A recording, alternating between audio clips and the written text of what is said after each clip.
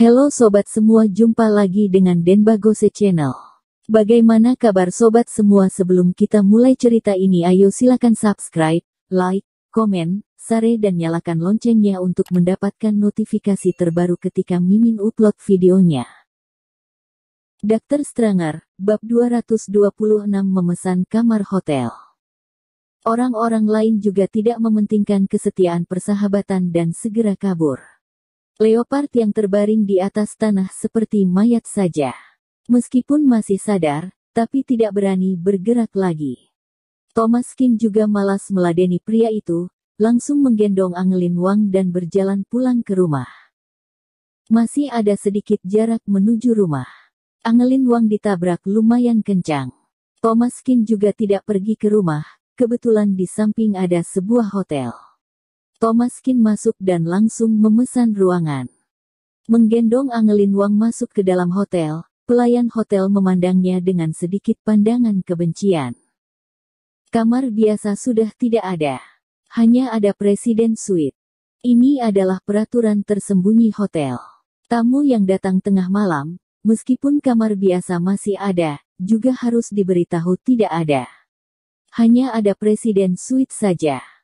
Terutama satu pria dan satu wanita seperti ini, biasanya, tidak akan langsung memesan. Ditambah Thomas Kin memeluk seorang wanita ke sini, pelayan tentu mau menjebaknya. Thomas Kin mengerutkan dahi, Presiden Suite apakah ada yang dua ranjang? Pelayan tersentak, dua ranjang. Apa yang mau dilakukan? Apa kakak adik? Boleh tambah ranjang. Baik, tambahkan satu ranjang. Thomas Kin tentu tidak akan pelit. Setelah memesan Presiden Suite, dia langsung masuk ke dalam. Presiden Suite ini awalnya hanya mempunyai satu ranjang bulat. Melihat desain kamar, sepertinya adalah kamar hotel dewasa. Thomas Kin juga tidak peduli. Setelah meletakkan Angelin Wang, dia memeriksa nadi wanita ini. Setelah ditabrak, Angelin Wang hanya terluka bagian luar saja. Alasan dia pingsan hanya karena terkejut saja, tidak ada masalah besar. Thomas Kin melepas baju luaran Angelin Wang, menyuruh pelayan mengantarkan sedikit perban dan kain kasa ke sini, mengobati sebentar luka di lengan dan paha Angelin Wang, besok seharusnya sudah tidak ada apa-apa lagi. Setelah selesai, Thomas Kin pun tidur di ranjang sebelah. Keesokan paginya, Thomas Kin dibangunkan oleh teriakan seseorang.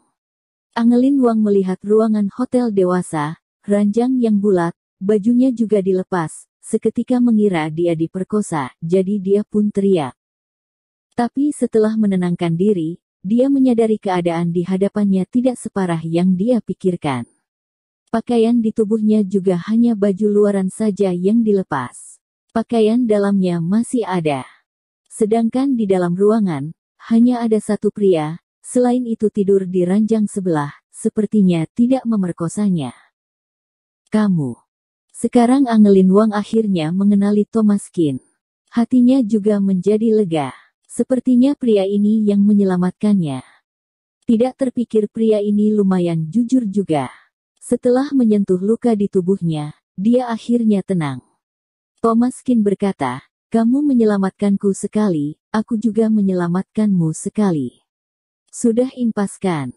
Begitu memikirkan dia yang wak itu tiba-tiba melakukan napas buatan. Angelin Wang merasa wajahnya sedikit merona dan berkata malu. Salah pahamku waktu itu, tidak termasuk menyelamatkanmu.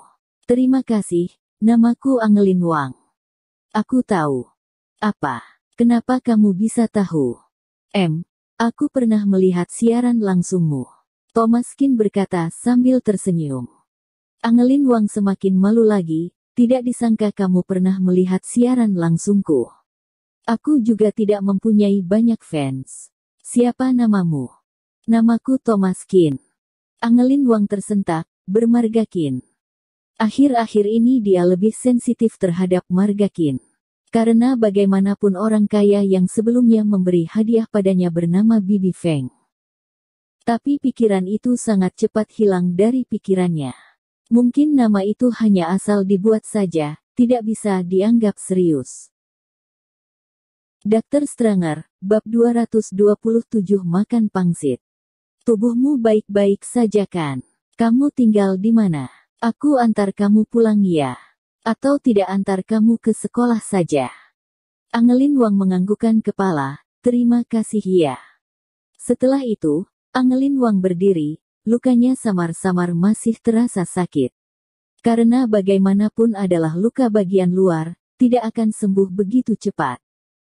Setelah keluar dari hotel, karena paha Angelin Wang terluka, jadi dia berjalan dengan pincang. Pelayan di meja resepsionis melihat itu dan seketika mengerucutkan bibir, menatap Thomas Kin dengan kesal. Monster, masih berpura-pura menambah satu ranjang lagi, Terakhir bukankah meniduri gadis itu juga? Pria brengsek. Thomas Kin tentu tidak tahu dia dimarahi monster oleh orang lain. Setelah memapah Angelin Wang keluar, dia membawa wanita itu pergi makan sarapan. Di sekitar sini tidak ada restoran untuk makan sarapan kan? Thomas Win melihat sekitar, sepertinya tidak ada tempat yang bisa makan. Angelin Wang berkata, Aku tahu satu tempat kecil yang menjual pangsit. Aku sering ke sana. Kamu tidak keberatan kan aku menraktirmu makan? Baik. Meskipun saat kecil Thomas Kin adalah tuan muda, tapi setelah keluarganya bangkrut, tempat tinggalnya berpindah-pindah tempat, tidak tahu menerima berapa banyak penderitaan, jadi tentu tidak akan pilih-pilih terhadap lingkungan makan. Angelin Wang membawa Thomas Kin, berjalan masuk ke dalam lorong, Belok-belok, sampai ke lorong kecil di samping jalan, di depan pintu masuk, nyonya tua sedang memasak semangkuk besar pangsit panas. Nenek Kian. Angelin Wang menyapa sambil tersenyum, Nenek Kian juga terlihat hangat dan tersenyum senang. Angelin sudah datang, ayo cepat duduk. Dua bangku kecil, dan satu meja bobrok, sudah termasuk sebagai meja makan. Meskipun meja bobrok, tapi sangat bersih. Nyonya tua kian sambil membungkus pangsit sambil masak. Kulit tipis dan isi banyak, sangatlah murah. Hehe, di sini semangkuk hanya lima yuan, sudah murah, enak lagi. Angelin Wang tertawa, matanya membentuk lengkung seperti bulan sabit, sangatlah imut. Nenek Kian membawakan dua mangkuk pangsit besar ke sini. Thomas Kin juga jadi bernafsu makan, merasa sangat lapar. Dua orang itu pun mulai makan. Di saat sedang makan, tiba-tiba beberapa orang bersepeda mengarah ke sini. Beberapa perempuan duduk di atas sepeda. Ketika melihat Angelin Wang, wajah mereka muncul ekspresi bermain. Yo, bukankah ini Angelin? Ada apa? Makan di pinggir jalan lagi. Angelin Wang mengerutkan dahi, Kinari Liu. Kinari Liu ini adalah anak orang kaya. Biasanya sangat sombong dan angkuh. Jadi Angelin Wang terus menghindari wanita itu. Tidak disangka malah bertemu di sini. Kamu juga datang makan pangsit. Kinari Liu dan dua perempuan di belakangnya tertawa. Hahaha, kita makan pangsit. Meskipun kita makan pangsit, kita juga tidak akan makan pangsit di pinggir jalan. Di sini angin bertiup kencang, sedikit pun tidak bersih. Aku tidak akan mementingkan harga murah itu. Hehe, bukankah karena miskin? Kalau tidak ada uang makan, makan sarapan yang biasa saja. Tapi Angelin, aku rasa lebih baik kamu kurangi makan makanan pinggir jalan seperti ini. Kalau kamu sampai flu dan sakit, pergi ke rumah sakit jauh lebih mahal dari ini. Kinari Liu tersenyum dingin, naik ke sepedanya, dan berkata dengan angkuh. Minggir, anjing baik tidak menghalangi jalan.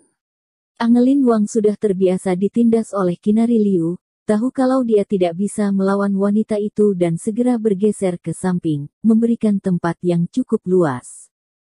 Saat Kinari Liu berjalan melewati sana, dia sengaja mengangkat kaki dan menendang punggung Angelin Wang. Ah! Angelin Wang maju ke depan, dan pangsit langsung mengenai tubuhnya. Kinari Liu tersenyum dingin, kenapa gerakanmu begitu lambat? Syukurin. Haha, pangsit yang semangkuk harganya 5 yuan saja sudah tidak mampu beli, sekarang semakin gawat lagi. Tidak apa-apa, yang jelas bajumu juga tidak mahal, kalau kotor, dibuang saja. Haha. Bersambung. Terima kasih kepada kalian yang telah menonton video ini. Jangan lupa tekan tombol subscribe-nya dan nyalakan notifikasinya untuk mendapatkan video-video seru lainnya dari channel Denbagose.